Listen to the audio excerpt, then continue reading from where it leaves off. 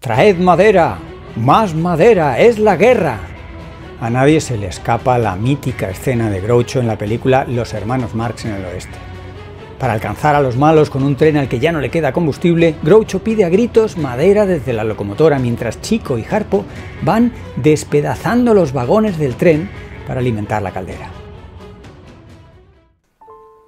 Esta es exactamente la reacción ante el cambio climático de las empresas y los responsables de las estaciones de esquí en general y especialmente en los Pirineos, donde un preocupante proyecto amenaza el auténtico valor de la montaña.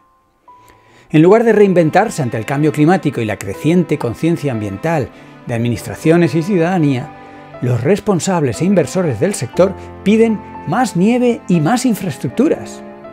Mientras lo hacen, y convencen a las administraciones que ya lo anuncian como un logro político, cientos de personas se preparan para despedazar ecosistemas y alimentar el negocio, como en la película de los hermanos Marx.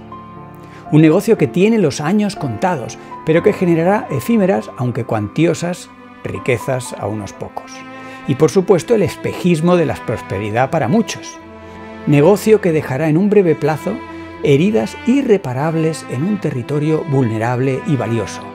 Y por supuesto un montón de chatarra inservible en lo alto de la montaña, algo que ya hemos visto en estaciones de montaña no muy altas de nuestro país, como Navacerrada en Guadarrama, La Cobatilla en Béjar o La Pinilla en Ayllón. El esquí alpino, las estaciones, las pistas y la producción artificial de nieve suponen una degradación de los recursos hídricos, amenazan la fauna y la flora locales, alteran numerosos servicios ecosistémicos, disminuyen el valor paisajístico del territorio y son un grave riesgo de malversación de fondos públicos. Hay que pensarse muy bien cada nuevo proyecto.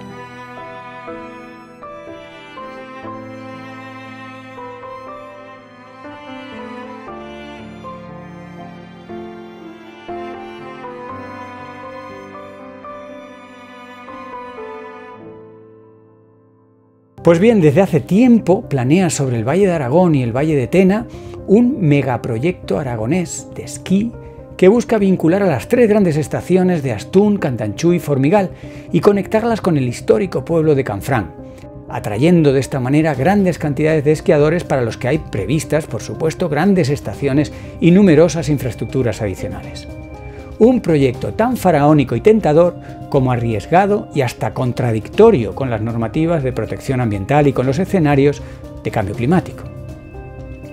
Este proyecto que afecta el emblemático canal de Roya es un gran disparate ambiental y a la larga también un gran fraude económico para la zona. Los valles glaciares de Izas y Roya suponen un corredor biológico esencial y reúnen un rico patrimonio geológico que les ha valido el reconocimiento como área de especial protección en la red de espacios naturales protegidos de Aragón. El proyecto supone enfrentar un paisaje de valor universal con una explotación económica de miras cortas, tanto en el tiempo como en la geografía y sobre todo en el sentido más amplio de prosperidad. El proyecto es además un asombroso anacronismo en un escenario donde las Olimpiadas de invierno están en jaque por el cambio climático, donde se están revisando las 21 sedes para estas Olimpiadas porque no se dan buenas condiciones de nieve, donde las previsiones son de que solo una de estas sedes olímpicas, de las 21 que funcionan en la actualidad o se consideran actualmente, sería válida para la competición a finales de siglo debido precisamente al cambio climático, en este escenario, los empresarios e inversores sueñan con que Pirineo será una excepción y que podrán vencer al calentamiento global con trabajo y firmeza.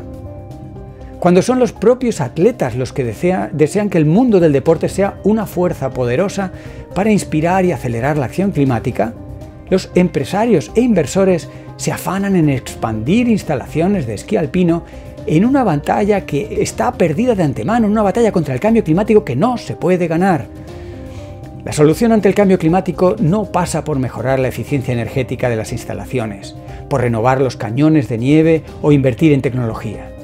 La solución es explorar formas de esquí compatibles con el territorio, disminuyendo la importancia del esquí alpino y apuntando las formas más sostenibles y adaptables de esquí, como el esquí de travesía, de montaña, de fondo o el nórdico, aunque supongan alejarse de la tentación y el dinero fácil del turismo de masas. La solución es diversificar la inversión y las actividades de los visitantes de las montañas. La solución es aceptar la realidad y puestos a hacer algo, mitigar el cambio climático y proteger paisajes valiosos que bien conservados serán una longeva fuente de prosperidad y riqueza. Eso es adaptación y sensatez. Seguir adelante con el proyecto es egoísmo, ceguera y surrealismo. Alguien rodará una nueva película más de 80 años después de la de los hermanos Marx, en la que podría verse a un empresario gritar, Traed más nieve, es la economía, mientras un ejército de trabajadores manejando los cañones de nieve desmantelan prados y roquedos para conectar cimas y valles. No nos quedemos mirando. Hagamos que esta película quede solo como una ficción.